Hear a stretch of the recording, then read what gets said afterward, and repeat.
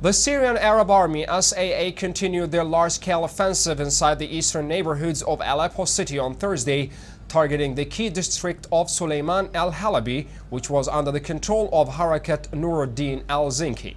Led by the 102nd Brigade of the Republican Guard, the Syrian armed forces began the assault by storming the western axis of Suleiman al-Halabi, recapturing the majority of the district after a fierce battle with the rebels on Thursday morning.